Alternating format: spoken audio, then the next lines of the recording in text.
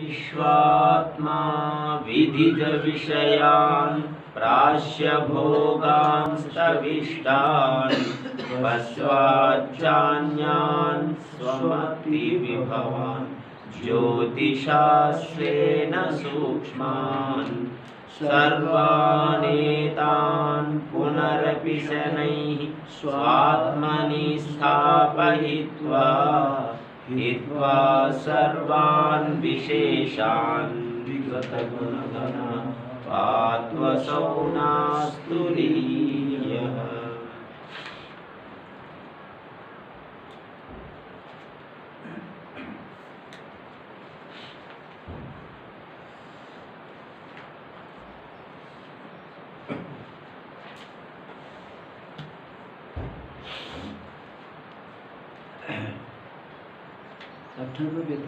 मांडुक्य उपनिषद के आगम प्रकरण पर विचार करते हुए अभी हम लोग पांचवा मंत्र पर है। पांचवा मंत्र में सुषुप्त को लेकर के विचार किया जा रहा है। ठीक है ना?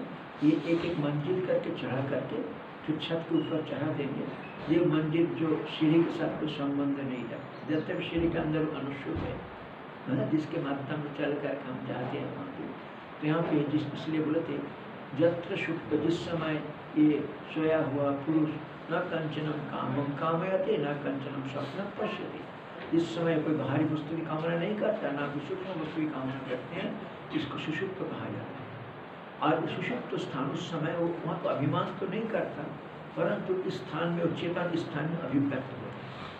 पे। और उस समय क्या होता है? एक ही। भूत है कल यहाँ पे आकर के इसके ऊपर एक हो जाता है। क्या एक हो जाता है? जागृत स्वप्न में जो भी भेद, द्वैत प्रपंच दिखाई दे रहा था, सब एक भाषात्मक रूप में। अब क्या है? मिल करके एक खिचड़ी बन जाता है। ये नहीं, अपने अपने जगह को ऐसे ही रहता है, केवल मतलब समझ में नहीं आता। जैसे रात के अंधेरे के द्वारा दिन के समय देखी हुई सारा वस्तु ऐसे ही रहता है, परंतु रात में कुछ समझ में नहीं आते। घनीभूत अंधेरा जैसा दिखाई पड़ता ठीक है ना? इसलिए यहाँ पे बोले थे भगवान वाचन नैश तमग्रस्तम इव आहो। सब प्रपंचम एक ही भूतम प्रपंच के साथ और एक होकर के चेतन तत्व है। अतएव स्वप्न, जागृत मन स्पंदिता प्रज्ञाना इसलिए स्वप्न और जागृत काल में मन के स्पंदन रूप, जो प्रज्ञा किस रूप में दिखाई दे रहा है मन स्पंदन के साथ दिखाई दे रहा है। घनीभूतानी इव, वो घनीभूत हो गया जैसा। घनीभूत तो नहीं है, वो अलग अलग वैसी है ना? घनीभूतानी इव। सयम अवस्था। ये जो अवस्था है, ये क्या होता है कि अविवेक रूपत्वाद यहाँ पे किसी चीज़ का विवेक नहीं हो पाता। किसी चीज़ का विवेक एक ही केवल मतलब वहाँ पे अवस्था अवस्था है कि मैं कुछ नहीं जाना अज्ञान एक मतलब इसीलिए इसको प्रज्ञान घन ऐसा कहा जाता है। प्रज्ञान घन ऐसा कहा जाता है। उच्च अब देखो यहाँ पे हम लोग टीका में यहाँ तक पढ़ लिए यथा नैशेन यथा अहर नैशेन तमसा। ग्रस्तम तमस्वेन एव व्यव्रियते तथा इदम अपि कार्य जातम कारण भाव आपन्नम। कारणम इत्येव व्यवह्रियते मिला टीका की उपस्थिति टीका में बीच में होने पे। तथा अह जिस प्रकार दिन। नैशेन तमसा।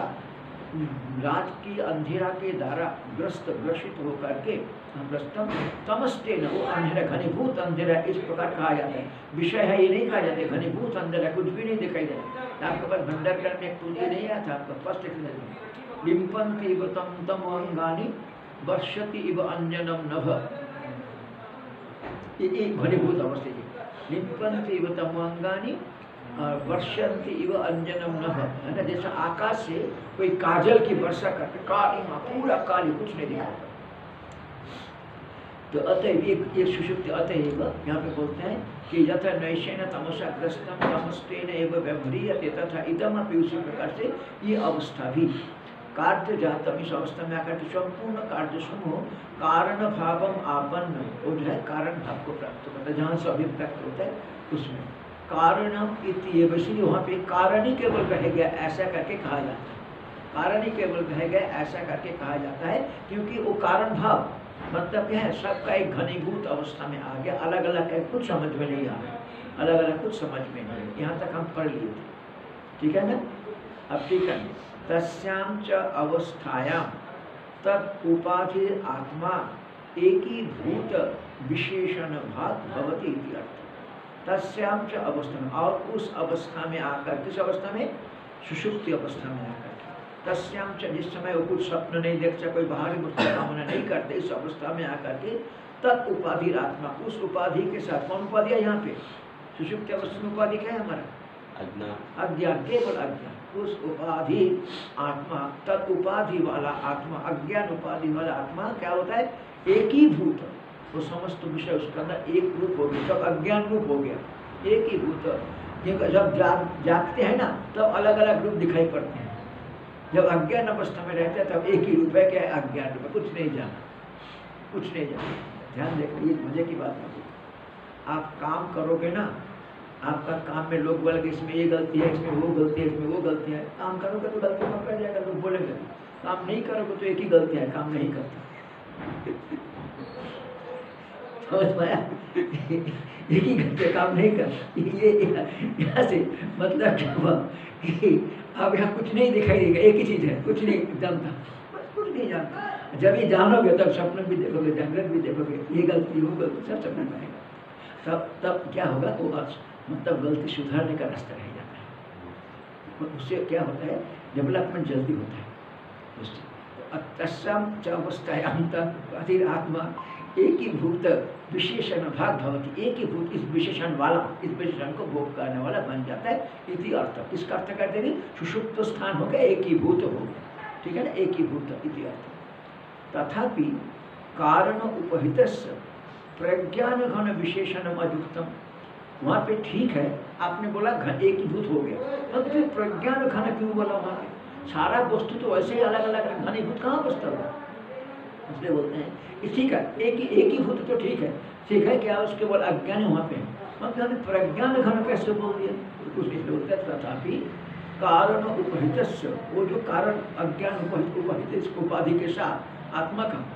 प्रज्ञान घन विशेषण उसको जो आपने आत्मा का क्या विशेषण है प्रज्ञान घन ये युक्त संगत नहीं अयुक्तम। ये युक्त संगत नहीं प्रज्ञान घन और प्रज्ञा घन में अंतर वही ना ना तो कोई अंतर प्रज्ञान घन जनरली बोलते हैं प्रज्ञा प्रज्ञा तो स्थिति होती है और प्रज्ञान से भरा हुआ। प्रज्ञान मतलब प्रतिष्ठ ज्ञान। ज्ञान धातु के साथ लुट प्रत्यय नहीं किया प्र और ज्ञान धातु के प्रज्ञा। ना क्यों? ना ये तो समाज पद है प्रज्ञान घन। प्रज्ञान की घनीभूत अवस्था है। वहाँ पे वो इसका सुषुप्त स्थान का विशेषण है तो वो शब्द जो है आपका प्राज्ञ का विशेषण है। प्राज्ञ प्रथम एक वचन है ना? मतलब अज्ञान उपहित चेतन। कारण उपहित चेतन व्यष्टि कारण उपहित चेतन। हाँ। उसका सब विशेषण है सुषुप्त स्थान एक ही भूत सब नामी दृष्टि बोला प्रज्ञान घन एव आनंदमय ही आनंद भू प्राज्ञ तृतीय ये सब के बोल रहे हैं। वस्तु निर्देश करने लिए जनरल विभक्त में करते हैं। अच्छा, तो तथापि कारण उपहित प्रज्ञान घन विशेषण अयुक्तम क्यों? इस प्रकार प्रज्ञान घन विशेषण तो केवल आप निरुपाधिक को दे सकते हैं। निरुपाधिक में जहाँ पे कुछ विशेषण नहीं है वो तो प्रज्ञान गण ठीक है। निरुपाधिक एवं तथा विशेषण संभव। निरुपाधिक में ऐसा विशेषण होना संभव है प्रज्ञान गण मतलब कारण उपाधि में तो अज्ञान है वहाँ पे। वहाँ पे कैसे आप बोलेंगे कि वहाँ पे प्रज्ञान घन चेतन आता भी है, अज्ञान भी है, वहाँ पे इसलिए शायद इति आशंका आप, इसको शंका मन में रखते देखो, क्यों बोल रहे हैं यहाँ पे? अतएव फिर भाष्य में आ जाइए। अतएव स्वप्न जागृत मन स्पंदनानी प्रज्ञानानी, जितना स्वप्न और जागरण में जो भी आपका मन स्पंदन जो ज्ञान हो रहा है मन स्पंदन मतलब जो ज्ञान हो रहा था, जागृत विषय या स्वप्निक विषय का ज्ञान, वही तो स्पंदन है, क्योंकि ये ध्यान रखना। मन स्पंदितम द्वैत जातम मनस्पंदन मतलब क्या कहना चाहता है भगवान भाष्यकार? जितना दैत्य प्रपंच दिख रहा है। जागृत स्वप्न में जितने जितना द्वैत प्रपंच दिख रहा है, ये ध्यान रखना, दैत्य प्रपंच मनस्पंदितम द्वैत जातम छोटा शब्द भगवान भाष्यकार बोल दिया। तो जहाँ भी बोलता है मनस्पंदितम मतलब क्या? भाष्यकार कहना चाहता है भेद द्वैत भेद इसे बोलते हैं स्वप्न जागृत मन स्पंदितानी स्वप्न और जागृत काल के मन का स्पंदन जितना भी प्रज्ञान मतलब द्वैत जितना भेद हमको दिखाई पड़ता है, प्रज्ञानानी। और क्या हो गया वहाँ पे? घनीभूतानी वो सब एक हो गया जैसा। एक नहीं हुआ, सब अलग अलग है, परंतु अंधेरा में कुछ नहीं दिखाई दे रहा है। इसलिए घनीभूतानी एव, घनीभूत अहंकार है जैसा, अंधेरा है जैसा। घनीभूतानी इव। ठीक है ना? इसीलिए अब देखिए फिर टीका में आ जाइए। सर्वस्व अतएव सर्वस्व कार्य प्रपंच समनस्क सुषुप्त कारणात्मना स्थितत्वाद एव। अत अत शब्द का अर्थ करते हैं। इसलिए किसलिए? अत एव। इसमें जो अत शब्द करते हैं, अत शब्द करते हैं संपूर्ण कार्य प्रपंच का, सर्वस्व कार्य प्रपंच मतलब जागृत स्वप्न में जो भी कुछ आप देख रहे थे। केवल इतना ही नहीं, जिसके द्वारा देख रहे थे वो सभी कर्म समनकस्य समनस्कस्य ठीक है ना? सर्वस्व कार्य प्रपंच मन सहित संपूर्ण कार्य प्रपंच सुषुप्ति सुषुप्त अवस्था में कारणात्मना अज्ञानात्मना मतलब अंधेरा के साथ कारण रूप में स्थितत्व विद्यमान रहने के कारण। जागृत प्रपंच स्वप्न प्रपंच कहीं नहीं गया। सब कारण रूप में एक होकर के अज्ञान में एक होकर के विद्यमान है वहाँ। सिर्फ़ जाग, जाग, जागने से ही फिर वहाँ पे तादात्म कर लेते हैं। इसलिए होता है स्थितत्वाद एवं इति अर्थ। ये होगा अतएव अर्थ हो गया। अतएव अत शब्द की अर्थ सुषुप्त सुषुप्त अवस्थायाम टीका में, सुषुप्त अवस्थायाम उक्त प्रज्ञानानाम एक मूर्तित्व न वास्तवम पुनर्यथा पूर्व विभाग योग्यत्वात् इति मत्वा उक्त, वहाँ पे जो इव कर दिया घनीभूतानी इव। इव क्यों दिया भगवान भाष्य का यहाँ पे एक होकर के मिल गया, ये बात नहीं है। जागने से फिर सब अलग अलग हो जाता है। वैसे इसलिए एक हो गया जैसा। यहाँ पे बोलते इवो का इसलिए दिया गया। सुषुप्त अवस्थायाम सुषुप्ति अवस्था में उक्त प्रज्ञानानाम जागृत उक्त का मतलब जागृत स्वप्न की जितना भी ज्ञान आपको हुआ तो उन सभी ज्ञानों का विषय का एक मूर्तित्व ना वो एक मूर्ति हो गया, ऐसा कहना युक्ति एक ही भूत बोला तो एक मूर्ति है ये कहना युक्ति संग मतलब पारमार्थिक नहीं है, पर वास्तव क्यों? यदि वो एक हो गया होता, फिर अलग कैसे होता है? इसलिए वो एक पुनः यथा पूर्व विभाग क्योंकि जैसे जगते हैं, फिर जैसा पहले विभाग था, वैसे ही विभाजित हो जाते हैं। पुनर्यथा पूर्व विभाग यज्ञत्वा तो एक ही भूत नहीं हुआ। जिस प्रकार मान लीजिए दूध और जल आपने बोला, एक हो गया। अथवा खिचड़ी पक गया, पका लिया आपने, आप बोलो खिचड़ी में से दाल और चावल को अलग कर। वो नहीं होता। है ना? इस अवसर में बोलते हैं, ना, वास्तव वास्तवपूर्ण किंतु यहाँ पे क्या होता है? सब उठ करके वैसे अलग अलग दिखाई पड़ते हैं। इसलिए बोलते हैं आपका ये कथन सही नहीं बोलते तभी तो ईगो कर लगाया। तभी वहाँ पे क्या लगाया? घनीभूतानी ईव है ना घनीभूत हो गया जैसा। इति मत इसको मन में रखते भगवान भाष्य का वहाँ पे ईव शब्द प्रयोग किया। कहाँ ईव शब्द? घनीभूत घनीभूतानि इव अब फिर देखिए सुषुप्त अवस्थाया कारणात्मकत्वा जागृत स्वप्न प्रज्ञानानाम तत्र एकी भावा प्रज्ञान घन शब्द वाच्यता इति उक्तम अनुबदती ठीक है ना? सुषुप्ति अवस्था में सब कारण रूप में एक हो जाता है। अज्ञानी कारण है। उस अज्ञान से ढक जाता है, इसीलिए उसको घनीभूत अवस्था कहा गया है। इसलिए बोलता है सुषुप्त अवस्था या सुषुप्ति अवस्था का कारणात्मक तत्व किस अवस्था में रहता है? कारण अवस्था में रहता है। सुषुप्त अवस्था मतलब कारण अवस्था। जागृत क्यों? क्योंकि जागृत स्वप्न प्रज्ञान नाम जितना जाग जागृत काल में अथवा स्वप्न काल में जो भी अपने दैत्य प्रपंचों को देखा था प्रज्ञान नाम तत्र एक ही भाव वहाँ पे सब एक रूप हो जाता है। क्या रूप होता है अज्ञान रूप हो जाता है। सब अज्ञान रूप हो जाता है। इस प्रज्ञान घन शब्द प्रज्ञान घन में मात्रा अलग अलग है उसको एक साथ जोड़ मात्रा जोड़ दीजिए।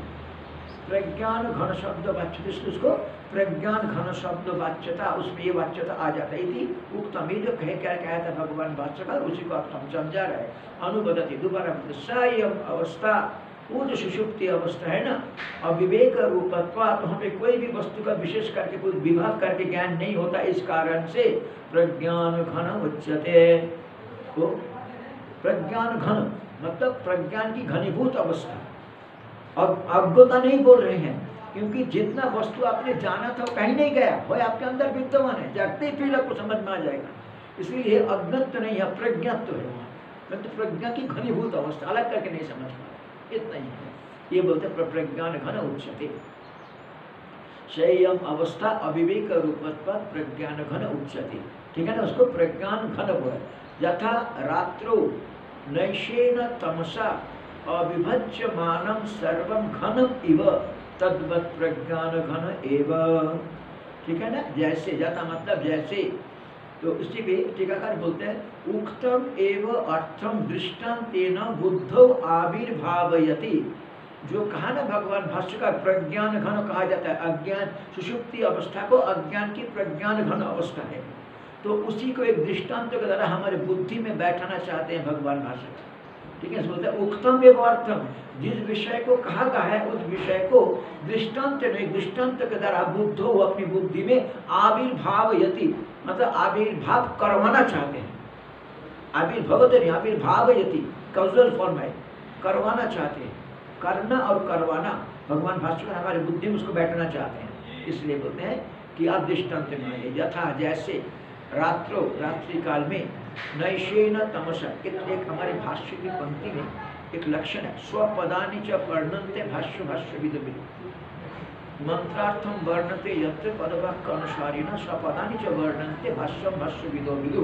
अपने पद का व्याख्या भी आपने आप देखो जैसे शब्द प्रयोग किया जो लगता है कि समझ में कम है तो क्या है उसको अपने आप ही व्याख्यान करते हैं ऊपर बोल के आता है नैश तमग्रस्त।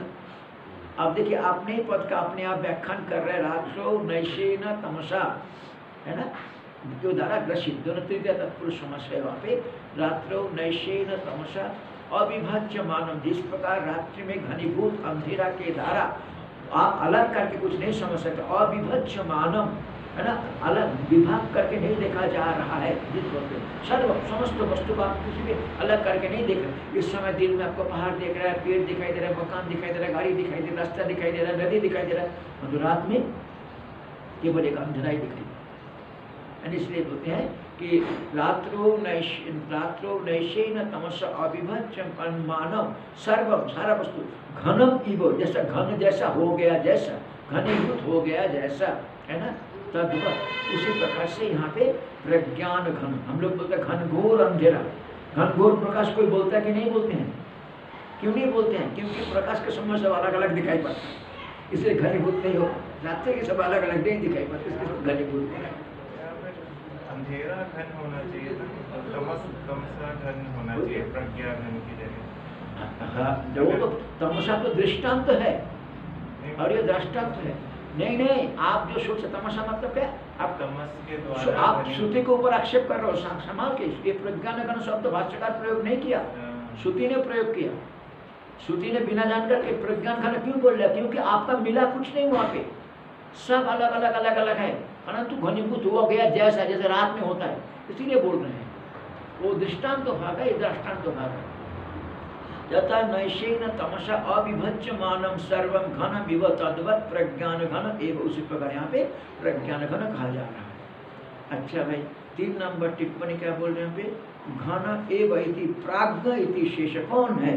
प्रज्ञान घन जिसको प्राज्ञ शब्द के जरा मतलब अज्ञान उपहित चेतन, अज्ञान उपहित कारण शरीर उपहित चेतन, अज्ञान उपहित चेतन को क्या बोला जाता है? उसका नाम है प्राज्ञ, व्यष्टि में। और समष्टि में उसको बोलता है ईश्वर। ठीक है ना? देखिए, एक ही तत्व को व्यष्टि में प्राज्ञ और समष्टि में ईश्वर। ईश्वर में सर्वज्ञत्व रहता है कि नहीं रहता? क्या मानोगे? ईश्वर में सर्वज्ञत्व रहता कि नहीं रहता? बोलो, घोर घन घन घोर अंदर अज्ञान तो मानेगा? अज्ञान घन वो बोलना संभव होगा?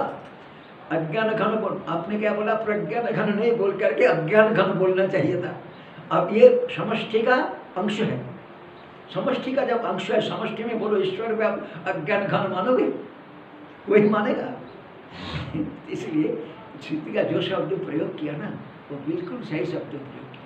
इसलिए प्रज्ञान घन एव तो तीन नंबर सर्व घन एव तद्वत प्रज्ञान घन तीन नंबर टिप्पणी कौन है प्रज्ञान घन? प्राज्ञ इति शेष इति शेष तीन नंबर टिप्पणी में अब यहाँ पे जो एवकार आया हुआ है उसको लेकर के बोलते हैं। टीकाकार बोल रहे हैं एवकार न अयोग व्यवच्छित्ति इति अर्थ। किंतु अन्य योग व्यवच्छित्ति इति आह। बीच में जो पूर्ण विराम है ना, वो पूर्ण विराम काट दीजिए एवकार न अयोग व्यवच्छित्ति अर्थ। किंतु अन्य योग व्यवच्छित्ति इति आह, एव शब्दात एव शब्दात न जात्यंतरम प्रज्ञान घन व्यतिरेक न अस्ति इति अर्थ। अब यहाँ पे दोनों टेक्निकल टर्म आया है। अयोग व्यवच्छेद और अन्नयोग व्यवच्छेद। एवोकार आप कहीं भी आएगा, देखना एवोकार आपके पास तीन प्रकार के शब्द होते हैं। विशेष, विशेषण अथवा क्रियापद।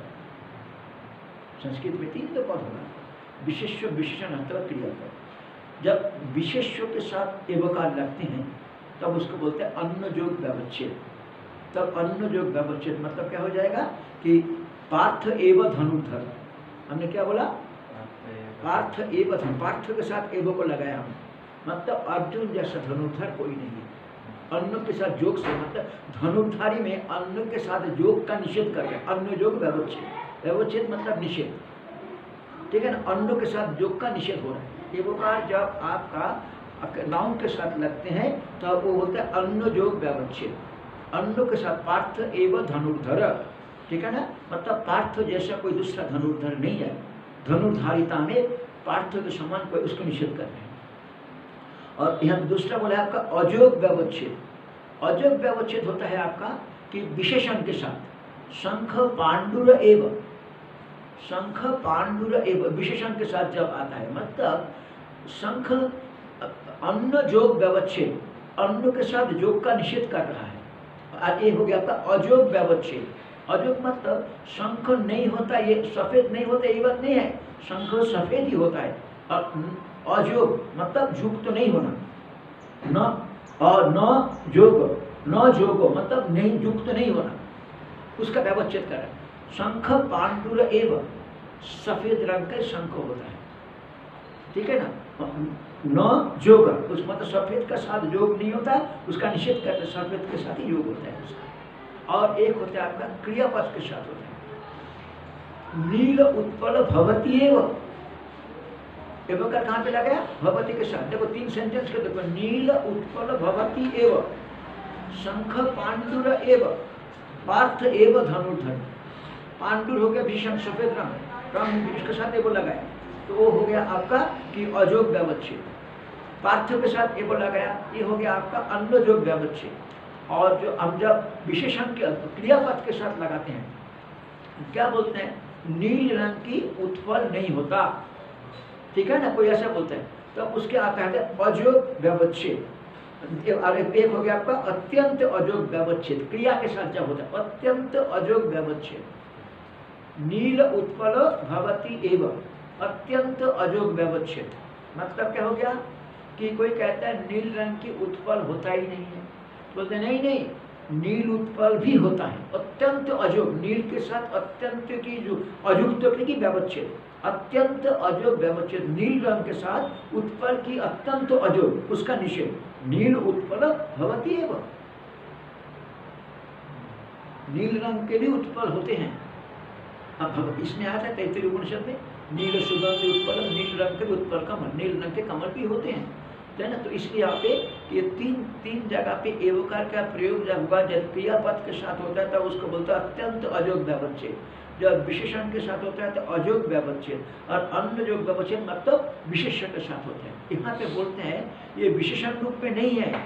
उसका स्वरूप भूत होकर के यहाँ पे बोलते हैं एवकार न अजोग व्यवच्छेद एवकार यहाँ पे अजोग व्यवच्छेद नहीं है, किंतु अन्य जो व्यवच्छेद मतलब ये प्रज्ञान भिन्न दूसरा कोई शब्द वस्तु यहाँ पे नहीं है।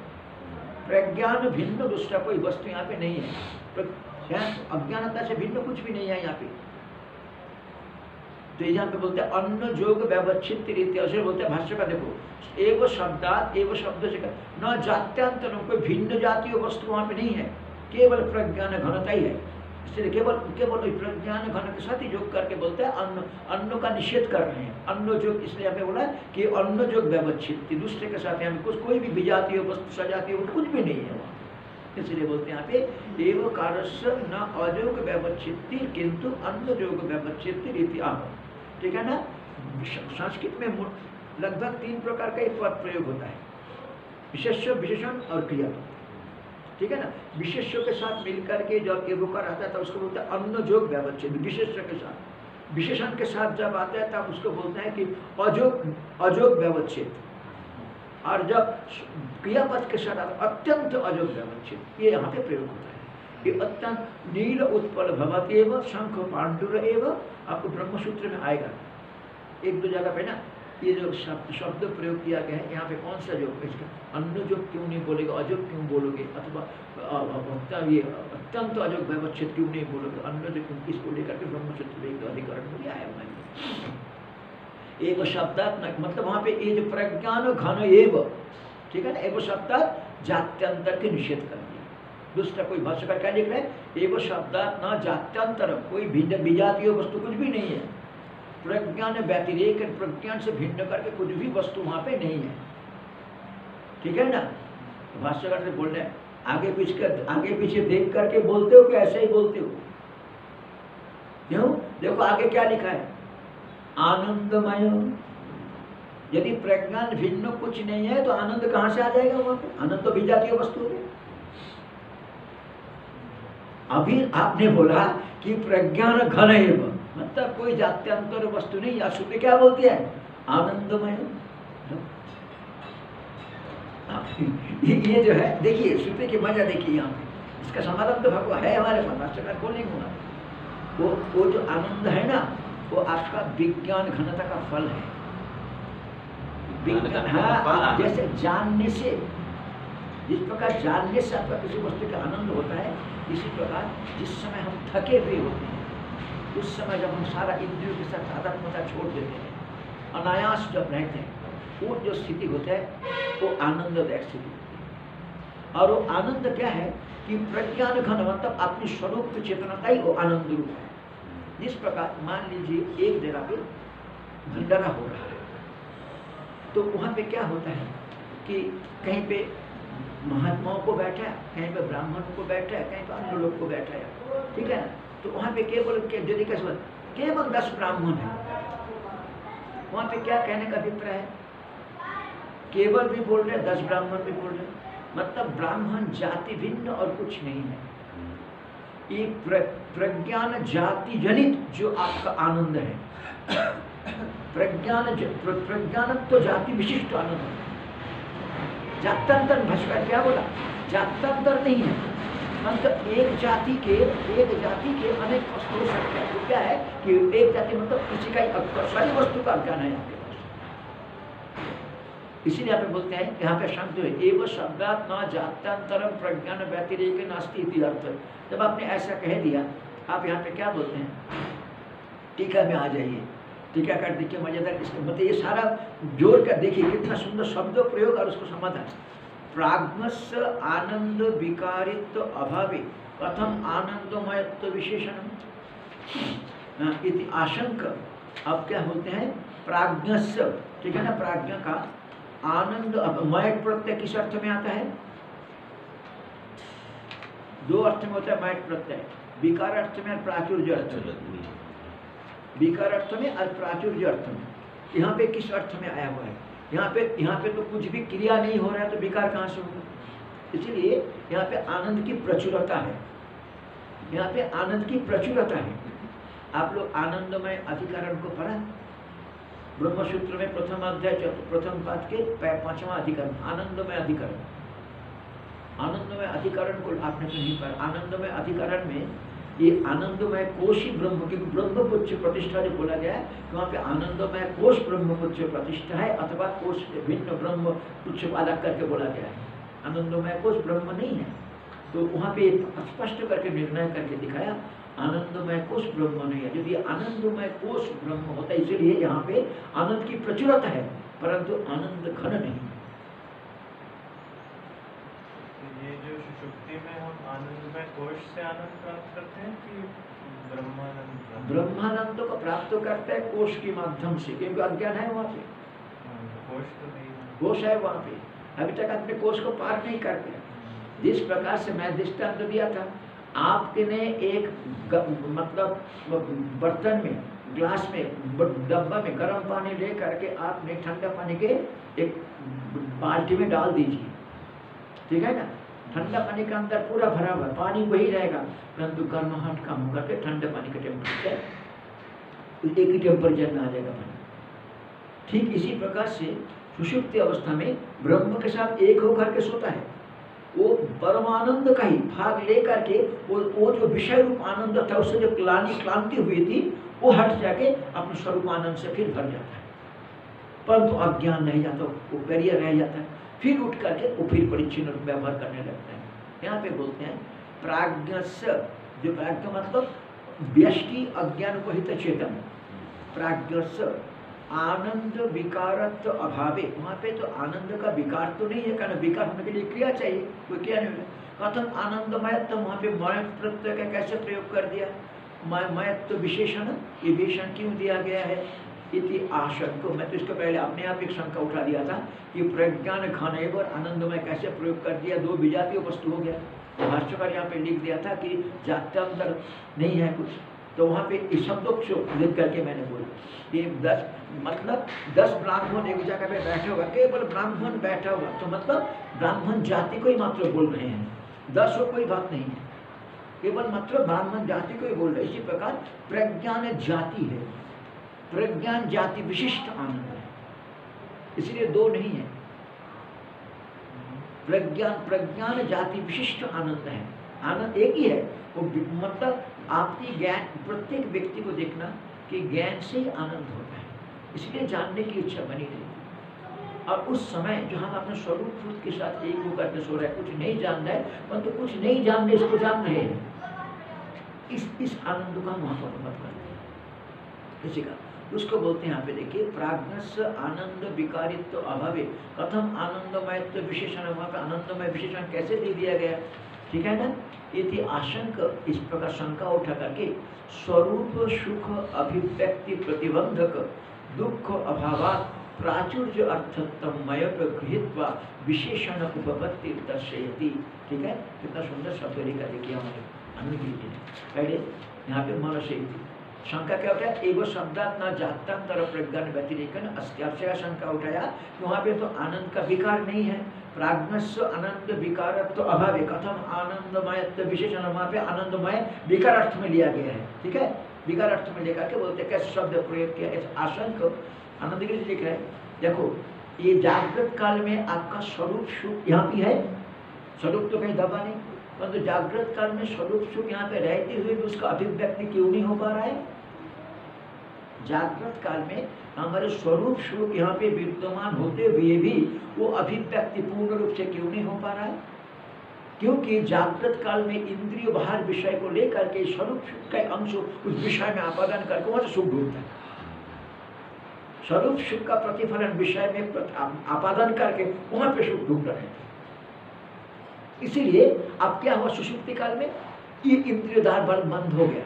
तो ये जो सुख बाहरी सुख जा करके वहाँ पे प्रतिफलित होकर के हमारे पास उस सुख रूप में आ रहा था, उसमें से विषय सुख में। अंदर की स्वरूप सुख, विषय रहित सुख, विषय में प्रतिफलित होकर के हमारे पास विषय रूप में आ रहा था, वो बंद हो गया।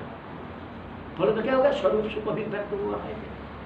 इसीलिए आप बोलते हैं, वो जो आयास होता है वहाँ, वो वो आयास बंद हो गया। आयास मतलब जो जितना सूक्ष्म होगा ना, उसको काम करने में उतना कठिन नहीं होगा। आयास होगा मतलब परिश्रम होगा। जिस प्रकार देखो, हाथ में लट्ठी लेकर के चलते हैं तो हमें कोई आयास नहीं लगता। आँख में एक छोटा सा भी, एक धूल का कणा आ जाए, आयास लगता है। क्योंकि सूक्ष्म वस्तु?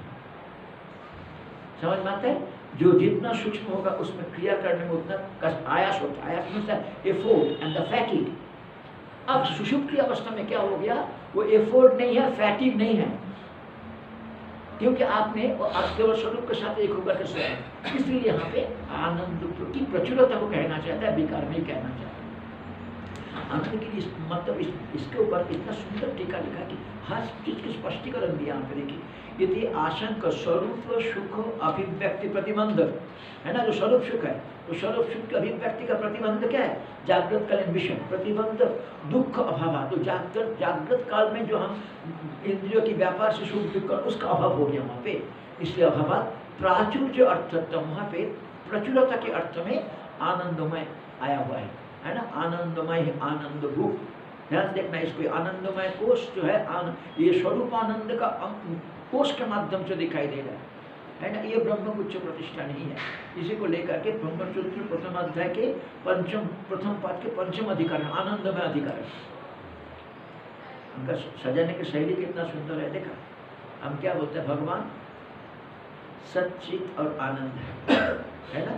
ऐसा बोलते हैं ब्रह्मसूत्र के। पहला चार जो अधिकरण है, अर्थात ब्रह्म जिज्ञासा जन्मादस्य जत शास्त्र योनित्वा तत्व समन्वया। ये चार सूत्र आपका अस्तित्व सिद्ध अस- अस्तित्व सिद्ध ब्रह्म है। ब्रह्म है। ब्रह्म। फिर इसके बाद इक्षित अधिकरण। उसका क्या हाँ हाँ इक्षते न शब्द। इस सूत्र के मतलब इस अधिकरण के द्वारा क्या सिद्ध किया?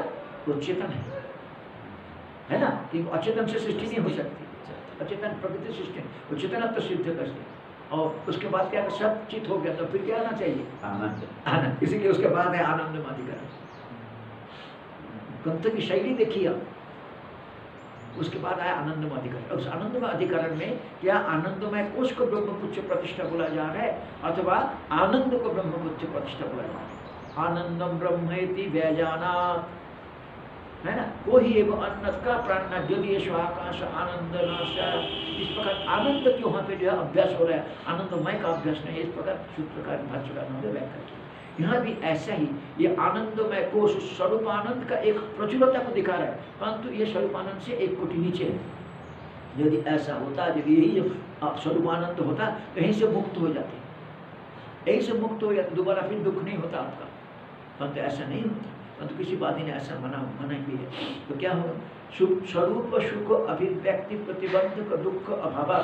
स्वरूप, सुख की जो अभिव्यक्ति है, उसका जो प्रतिबंधक था, क्या? जागृत कालीन इंद्रियों की व्यापार, उसके कारण से हम दुखी हो जाते थे। वो वहाँ पे बंद हो गया। वहाँ पे बंद हो गया। इसीलिए बोलता अभाव प्राचुर्य अर्थ मयट गृहता मयट गृहता प्रचुरता की अर्थ में मयट प्रत्यय के ग्रहण करके श्रुति यहाँ पे विशेषण देती है क्या? आनंदमय ही आनंद भूख यहाँ पे आनंदमय विशेषण है उपवत्ति विशेषण, युक्ति संगत हो जाता है। इसी को दिखाते हैं भगवान भाष्यकर। मनुष्य है ना? देखिए वहाँ पे मनुष्य विषय विषयी आकार स्पंदन आयास। ये आपको अच्छा लग रहा है। मन ही मन ही विषय रूप में भी, विषय रूप में भी दो रूप में बदलना इस अपने को दो भाग में विभाजन करने में मन का जो फैटिक होता है आयास होता है परिश्रम होता है वो वहाँ पे बंद हो वो वहाँ पे बंद हो ठीक है ना? भाष्य का लिखते हैं विषय विषयी आकार स्पंदन आयास।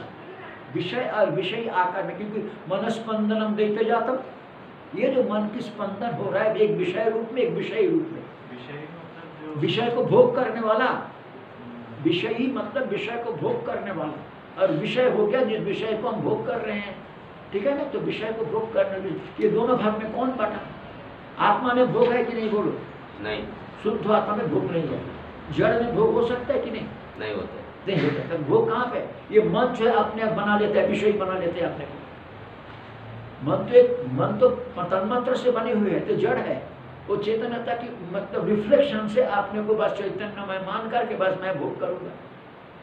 और इसी से दुखी होता है, आयास होता है उनको जो जितना सूक्ष्म होता है, उसको अपने को विभाजन करने में उतना आयास होता है। इसलिए बोलता है, विषय विषय, आकार, स्पंदन, है ना? विषय विषय, आकार में जो स्पंदन, मन स्पंदन मतलब जो द्वैत रूप में आपने को विभाजन कर दिया। स्पंदन मतलब द्वैत विभाजन। उससे उसका जो दुख होता है मतलब आयास आयास के कारण आपने बहुत काम करके आया, थक गए आप। थक गया तो आप दुखी होते हैं। फिर थोड़ी देर आराम करते हैं तो आप फिर आनंद आ जाता है, आपको शरीर में ताजगी आ जाता है। और वो आनंद का अभाव हो, दुख का अभाव हो गया। कहाँ पे? सुषुप्ति अवस्था में। अपने को विषय विषय रूप में विभाजन करके जो भोग कर रहा था, उसका वहाँ पे अभाव हो जाने के कारण वहाँ पे आनंद की प्रचुरता इसलिए बोलते अभाव आनंदमय। इसलिए आनंद प्राय मतलब आनंद की प्रचुरता। मैं बोला, जलमय खेत जलमय खेत। तो वहाँ पे क्या हो गया? केवल जल नहीं है साथ में खेत भी है। खेत के ऊपर जल इसी प्रकार वो आनंद तो है पर वो किस किसका आनंद अज्ञान के ऊपर दिखाई पड़ रहा है। अज्ञान का फ़र्क जिस प्रकार जलमय खेत में मतलब खेत के ऊपर खेती के ऊपर पानी दिखाई पड़ रहा है। पानी की प्रचुरता आपको खेत नहीं दिखाई दे रहा केवल आपको पानी दिखाई पड़ रहा है। क्षेत्र नहीं दिखाई पड़ रहा आपको केवल पानी दिखाई पड़ रहा है। तो परंतु क्षेत्र तो है वहाँ ठीक इसी प्रकार यहाँ भी आपको क्षेत्र दिखाई नहीं पड़ते हैं। अनंत है वहाँ क्षेत्र का मतलब जो जिसके ऊपर दिखाई पड़ते हैं। इसीलिए वहाँ पे उसकी प्रचुरता है। है ना? वो पूरा स्वरूप भूत नहीं है। इसलिए बोलते हैं यहाँ पे आनंद प्राय। न आनंद एव। केवल मात्र आनंद है इस अवस्था में ये बात नहीं है, क्योंकि वहाँ पे प्रचुरता है। हेतु दिया ये प्रतिज्ञा वाक्य मनसो विषय विषय आकार स्पंदन आयास दुख अभाव आनंदमय मतलब आनंद प्राय न आनंद एव, केवल मात्र आनंद ही नहीं है। मतलब यहाँ पे देखिए, अजोग व्यवच्छेद नहीं हो पाएगा अन्न जो व्यवच्छेद नहीं हो पाएगा विजातीय अज्ञान वहाँ पे विद्यमान है। उसके लिए हेतु दे रहा है अनात्यंतिक अनात्यंतिक अनात्यंतिक मतलब इसका ये उत्पत्ति विनाशील होने के कारण। आत्यंतिक नहीं है, हमेशा रहने वाले नहीं है। आत्यंतिक मतलब जिसका परिवर्तन नहीं होता कभी, व्यभिचार नहीं कर परंतु यहाँ पे क्या है, ये उत्पत्ति विनाशील है। सुषुप्ति कालीन आपका जो सुख है, वो थोड़ी देर के लिए रहता है, फिर नाश हो जाता है। उत्पत्ति होता है, नाश हो जाता है। ये हो भी हमें अनात्यंत आत्यंतिक मतलब जो उत्पत्ति विनाशील नहीं है। और अनात्यंतिक मतलब उत्पत्ति विनाशील होने के कारण कौन? सुषुप्ति में जो आनंद की प्रचुरता दिखाई आनंद दिखाई पड़ता है। इसलिए देखो टिप्पणी का वहाँ पे बोलते हैं कि अनात्यंतिक मतलब विनाशित्वाद अभिप्राय का विनाशी मतलब उत्पत्ति विनाशी वाला होने के कारण। सुषुप्ति हमेशा नहीं रहता। एक निर्दिष्ट समय आता है फिर कुछ देर के लिए बंद होती है। इसलिए इसका अभिप्राय है। इस अभिप्राय से कह रहे हैं।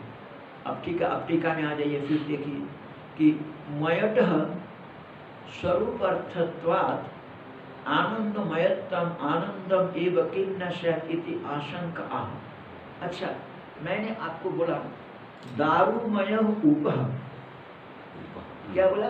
दारूमय यूप। जो यज्ञ में एक यूप लगाया जाता है।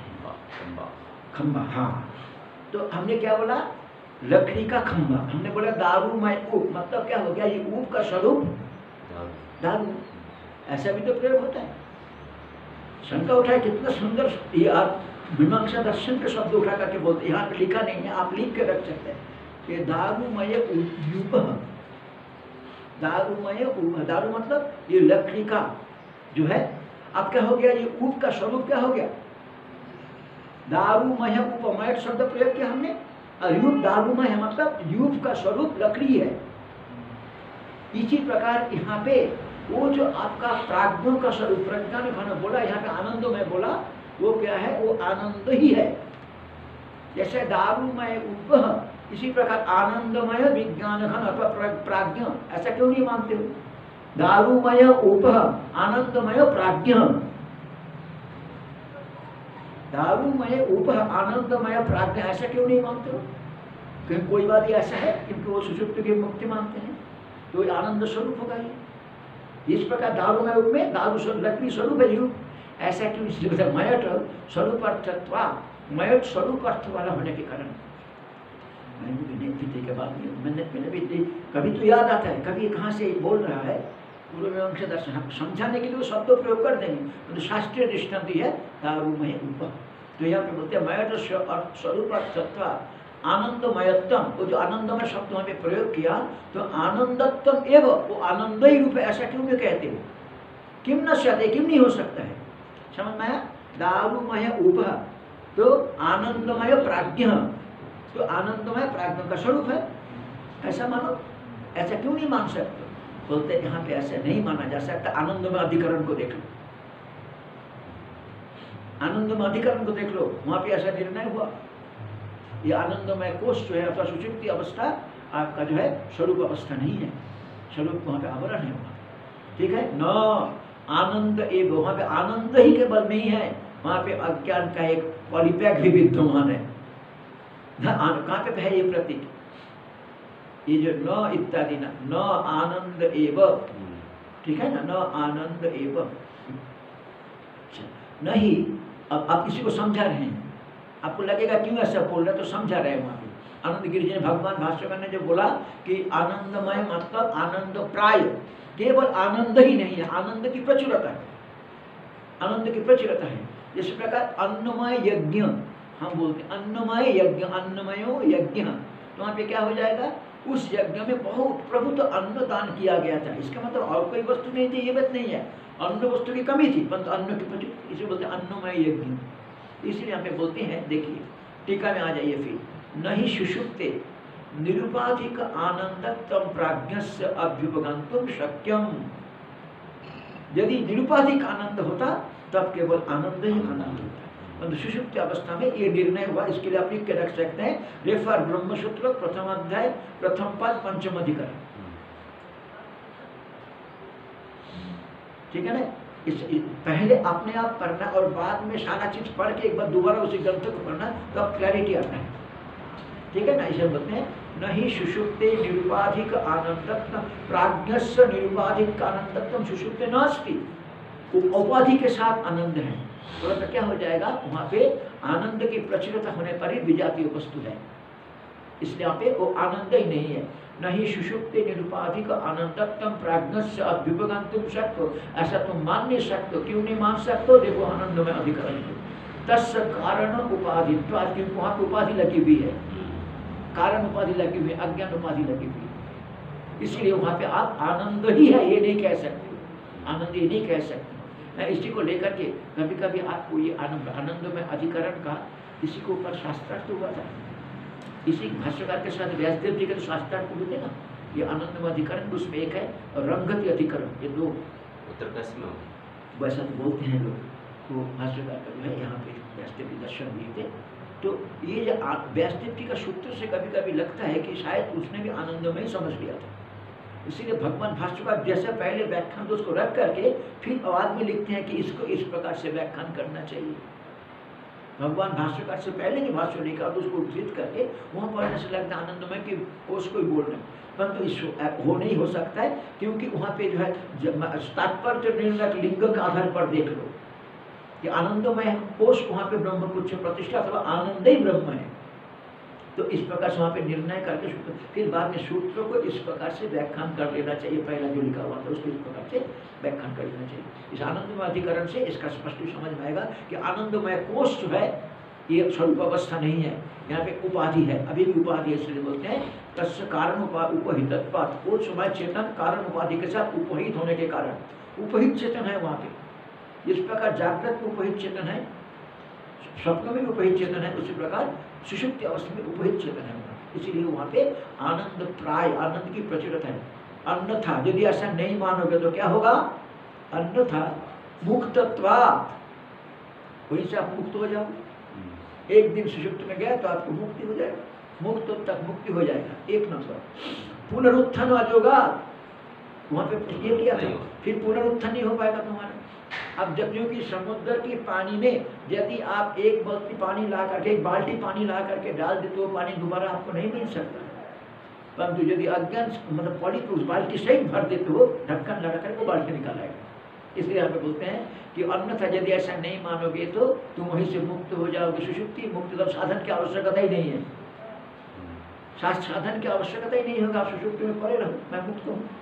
फिर पुनरुत्थान अजोगा यदि वहाँ पे अज्ञान नहीं होता तो पुनरुक्ति पुनरुत्थान नहीं होता पुनर्व्यवहार नहीं करते। तस्मात आनंद प्राचुर्यमेव।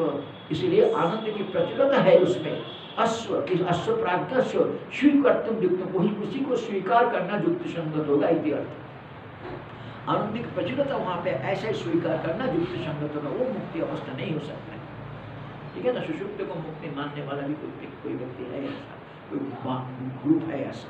इसलिए बोलते अन्यथा मुक्त तत्व से मुक्त हो जाएँगे। सुषुप्ति दृष्टांत है। वेदांति क्या बोलते हैं? वेदांति की सुंदरता है। किसी की मत को खंडन पूरा नहीं किया। आपने सही बोला, सुषुप्ति दृष्टांत है क्या? मुक्ति स्थिति को समझाने के लिए।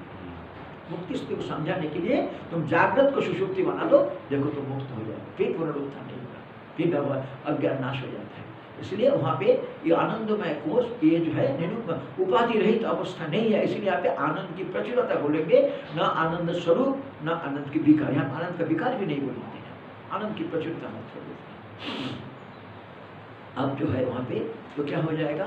आनंद प्रज्ञान घन एवं आनंदमय। ठीक है ना? आप ध्यान देना, प्रज्ञान घन के साथ आनंदमय प्रयोग किया। भगवान भाष्यकार बोलते प्रज्ञान घन मतलब जात्यांतर नहीं है।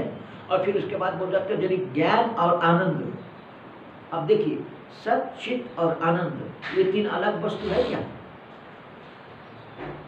सोचिए। हाँ ये ध्यान रखना, यहाँ पे भगवान भाष्यकर की पर अभी जब भी आप बोलते हैं जात्यांतर नहीं है तो ज्ञान और आनंद तो अलग वस्तु होता है। तो बोलता ज्ञान और आनंद अलग वस्तु नहीं है। ज्ञान जाति विशिष्ट आनंद, यहाँ पे कहना अभिप्राय है। मतलब ज्ञान से आनंद की उत्पत्ति होती है। इसीलिए देखियो, सत की स्फुरन आनंददायक है। क्या बोला मैं? सत की स्फुरन ही आनंद स्वरूप है। आपके अंदर ये सत मतलब अपने, अपनी विद्यमानता अपनी विद्यमानता की जो स्फुरन होता है, वही आनंददायक है। केवल आपकी विद्यमानता का व्यापक रूप से जानिए, बस इतना ही है। मैं हूँ, यदि दुखदायक होता तो कोई भी व्यक्ति जीने की इच्छा ही नहीं करता। मैं हूँ, ये अस्तित्व निश्चित ही आनंददायक है पर उसको हम समझ नहीं पाते कि हमारे अस्तित्व ही आनंद रूप है। अस्तित्व स्वरूप ही आनंद रूप है, ये हम समझ नहीं पाते। उस आनंद का रिफ्लेक्शन बाहर देख कर उसी को समझ लेते हैं, क्योंकि दिखाई नहीं पड़ता इस इसके बाद इस बात का शब्द आया है, आनंद भूख ठीक है ना? यहाँ तक हो गया कि आनंद की प्रचेता अब जो है, आनंद भूख की व्याख्या कर रहे हैं। अच्छा। हाँ। टीका में आ जाइए। आनंद भूख इति विशेषणम स्वदृष्टान्तम व्याचस्टे एक एक करके पद देखिए। ये पहले सुषुप्त स्थान एक ही। भूत प्रज्ञान घन एवं। आनंदमय अब क्या है आनंद भूख एक एक पद का भगवान भाष्यकर कैसे अर्थ करते हैं? आनंद गिर उसको बता रही इन सभी विशेषण को ध्यान देना। सुषुप्ति स्थान एक ही भूत प्रज्ञान घन एव, आनंदमय ही। फिर उसके बाद आनंद भूख ये सब प्राज्ञ- का विशेषण है। तो यहाँ पे बोलते हैं कि आनंद भूख इति विशेषण जो विशेषण दिया गया है। स्वदृष्टांत दृष्टांत के साथ व्याचष्ट भगवान भा- भाष्यकार व्याख्या करते हैं। आप कहाँ पढ़ेंगे? जथा लोके। आनंद भूख क्यों हुआ? जिस प्रकार लोके निराश निरायास स्थित सुखी आनंद भूख उच्चते। एक अधिकरण आता है तक्ष अधिकरण ब्रह्मसूत्र में। द्वितीय अध्याय आप होंगे तक्ष अधिकरण। जथा तक्ष उभय ऐसा कुछ सूत्र आया होगा। वहाँ पे क्या दिखाया? एक व्यक्ति उपाधि के साथ दुखी होता रहता है। उपाधि के साथ छोड़ कर कहता है कि बचो क्या है वो? बढ़ोई। वो अपने अपने जंत्रवादी के साथ काम करते छु- दुखी रहता है वो। फिर घर में आकर के सब छोड़ कर खा पी के सो जाता है तो सुखी होता है, निरायास ठीक है ना? उस अधिकरण को गए स्पष्ट ये शब्द में जथा लोग के जिस प्रकार लोग व्यवहार यहाँ पे लिख के रखना। रेफर तक्षाधिकरण, ब्रह्मसूत्र। ब्रह्मसूत्र तक्षाधिकरण, उसमें इसका क्लैरिटी है, बिल्कुल स्पष्टीकरण बता देगा इस लाइन में। यथा लोके निरायास स्थित जिस प्रकार आयास रहित अवस्था में स्थित। यथा तक्षो यथा तो इस तक्ष में क्या देखा? देखो, दुखी है अपनी उपाधि के साथ वो दुखी है काम करते हुए। वो सब उपाधि को छोड़ करके वो सुख घर में आराम से सोता है। है कि नहीं? ठीक ऐसे ही हमें समझना चाहिए। यथा लोग के निरायास स्थित सुखी आनंद को उच्चते वो सुखी। वो आनंद का भोग करता है। चुप बैठ करके आनंद लेता है। है ना? इस इस उच्चते उसको कहा जाता है। इसीलिए ना कभी कभी कुछ समय सब कुछ छोड़कर कुछ आजकल तो थोड़ा मुश्किल हो गया मोबाइल आने के बाद। पहले तो ये आसान था। आजकल जो है, वो माइंड जो है इन्वेस्ट कर लेते हैं। बाकी से छोड़ देगा कुछ। कभी कभी अभ्यास करना चाहिए क्या अभ्यास? किसी भी चीज़ को नहीं नहीं लेकर के चुपचाप किसी भी उपकरण में चुप कोई भी व्यापार नहीं करते हुए। मतलब कोई व्यापार कुछ मन में चिंता आता है तो उसको भी हटा करके जितना हो सके ना कुछ नहीं सोचना चुपचाप बैठे लेकिन वो सुख सबसे सुख स्थिति है वो सर्व स्थिति इसलिए बोलते हैं यथा लोग जैसा लोके नीर आयास स्थित आयास रहित अवस्था में स्थित होकर के सुखी, आनंद भूख उच्चते। देखो, कितना सुखी व्यक्ति है जो आनंद, अपना आनंद लेते हैं, ऐसा कहा जाता है। ठीक है, उसका आगे बोलते हैं जथा लोके तथा सुषुप्तो अपि इति शेष। जैसे जथा बोला ना जथा के साथ एक तथा चाहिए। है ना? जिस प्रकार कोई व्यक्ति जब कोई व्यापार नहीं करते हुए अपने आप में बैठे रहता है तो लोग क्या बोलते हैं, देखो कितना सुखी व्यक्ति आनंद से बैठा हुआ है। है ना? इसी प्रकार से सुषुप्ति अवस्था, सुषुप्त इति शेष सुषुप्त होता जो जिसका नींद नहीं आता उसके बगल में कोई खराटे से नींद ले रहा है, बोलते देखो कितना आनंद से सो रहा है, देखो कितना सो रहा है। उसको नींद नहीं आ रहा है। हर उस एक व्यक्ति मस्ती से सो रहा है। दिन भर मेहनत किया। दिन भर मेहनत किया। उसके बाद कोई साधन नहीं है। खाया पिया, रोटी बना खा सो गया। बस खराटे से नींद वो व्यक्ति के सारा साधन है। फिर भी उसका नींद नहीं आता। तो सामान्य इक्वेशन है जीवन। देखो भाई, उसके लिए कर्म चाहिए। पैसा से आप एयर कंडीशन कमरा, सारा सुविधा ला सकते हैं। परंतु बिस्तर ला सकते हैं। परंतु निद्रा को पैसा से नहीं खरीदा जा सकता। उसके लिए कर्म चाहिए, प्रवृत्ति चाहिए। भूख मिटाने के लिए साधन, आप अच्छा अच्छा साधन पैसा से खरीद सकते हैं। परंतु भूख नहीं खरीदा जा सकता। भूख के लिए मतलब सौभाग्य चाहिए कि भूख लगना, भूखी करना कर्म खराब तो नहीं होता ये चीज़ जो है बहुत सावधानी से तथा सुषुप्त अपीति शिशु दाष्टान्तिकम विभिन्नति दृष्टांत हो गया, कोई सामान्य व्यक्ति निरायस बैठा दृष्टांत तो होता ना सुषुप्ति अवस्था, उसको बोलते हैं, अत्यंत अनायास रूपा ही यम स्थिति, अनेन अनुभूयते आनंद भूख। यहाँ पे अत्यंत अनायास, किसी भी प्रकार के प्रयास नहीं है वो। कौन सुषुप्ति अवस्था में ना हाथ हिलता ना पैर हिलता, ना कुछ हिलता आराम से पाया। अत्यंत अनायास रूपा ही यम स्थिति, ये रूप है, ये स्थिति। कौन सा स्थिति? सुषुप्ति स्थिति। जागृत में इसलिए ये अवस्था कभी कभी जो है ना, इस अवस्था को चुपचाप बैठे रहो। कुछ नहीं बस चुप बैठो। अथवा सोते रहो चुप कुछ कुछ देर के लिए ऐसा भी अभ्यास जैसे अन्न देखिए एक चीज़ मतलब मैं प्रासंगिक बोल रहा हूँ ध्यान करने का अभ्यास करने के लिए बोलते हैं है ना? ये थोड़ा सा ध्यान करने के लिए अभ्यास के लिए बोलते ध्यान मतलब क्या? मन को एक जगह पे लगाना। अब फिर सारा विषय को छोड़ करके मन को शांत करना। ये हमारे वेदांत वेदांत में जो ज्ञान है वो ध्यान से होने वाला वस्तु नहीं है। ध्यान रखना इस चीज़ को। परंतु क्या होता है उसमें? ये सुषुप्ति कालीन मैं किस अवस्था में जाता हूँ कैसा स्थिति उसका एक ग्लिम्स आपके मन में बैठ जाता है। वेदांत में जो ज्ञान की कहा गया, वो ध्यान से आने वाला नहीं है। फिर भी हम बोलते हैं कि ध्यान करो, चिंतन करो। इसका अभिप्राय क्या है कि वो निराया स्थिति क्या होती है? अथवा विषय रहित अवस्था क्या होता है? उसको थोड़ा एक बार मन में, सुषुप्ति अवस्था में आप उस समय नहीं ला पाते, बाद में लाते हो। एक बार चुप बैठ कर उसका। तब क्या होगा? अपने आप दस फुट तक पकड़ आ जाएगा। ठीक है ये मेरा प्रश्न हो गया। आनंद भूख ठीक है ना? इसलिए इसको आनंद भूख कहा जाता है। अत्यंत अनायास रूप ही स्थिति अने अनेन अनुभूयते आनंद भूख इस के द्वारा अनुभव किया जाता है, इसको आनंद भूख कहे जाते हैं। ठीक है ना? यम स्थिति यम स्थिति मतलब कौन सुषुप्ति रुकता यहाँ पे यम स्थिति के द्वारा सुषुप्ति को कहा जाता है। अनेन अनने के द्वारा? प्राज्ञा। प्राज्ञोक्त, अनेन को शब्द अत्यंत अनायास रूपा यम स्थिति मतलब सुषुप्ति अवस्था। अनेन मतलब प्राज्ञेन अनुभूयते इति आनंद भूख ठीक है? वहाँ पे चार नंबर टिप्पणी देखिए सुषुप्ति सुषुप्ति उपलक्षिता स्वरूप भूता निर्दिशय प्रीति। हाँ, चार नंबर टिप्पणी। सुषुप्ति उपलक्षिता स्वरूप भूता निर्दिष्ट अतिशय प्रीति इसलिए थोड़ा थोड़ा कभी जो ऐसा अभ्यास करना चाहिए। जागृत को सुषुप्ति बनाने का एक अभ्यास पहले करना है चुप बैठना चुप। शरीर के चिंतन भी नहीं करेंगे हर चिंतन भी नहीं करेंगे कुछ ध्यान भी नहीं करेंगे। यदि नहीं होता है तो ठीक है आप इष्ट धन करो। फिर बात मत पूछो। कुछ चिंतन नहीं। तो ये चीज़ जो है धीरे धीरे स्वरूप स्थिति को प्राप्त है। ठीक है? तो हाँ। आज कौन से पढ़ेंगे? फिर हाँ? पहला। वाला। हाँ। अजमपि योनियोगं च